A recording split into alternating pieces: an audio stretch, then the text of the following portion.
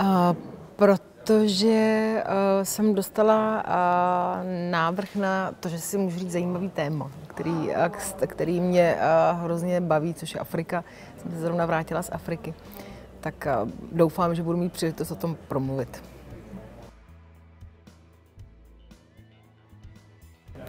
Tak představu nemám, což mě samozřejmě děsí.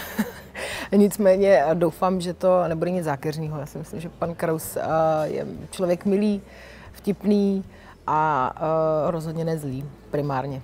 Doufám.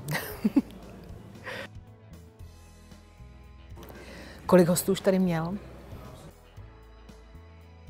To určitě. Zatím ani nejsem nervózní, tak uvidíme.